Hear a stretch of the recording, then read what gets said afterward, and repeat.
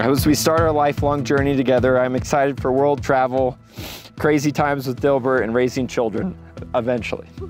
I vow to encourage and inspire you, to laugh with you, and to always be by your side. Zach, today I become your wife and your better half, and I can't wait for all the blessings that we will experience together. I guess you guys can go ahead and kiss. Here we go.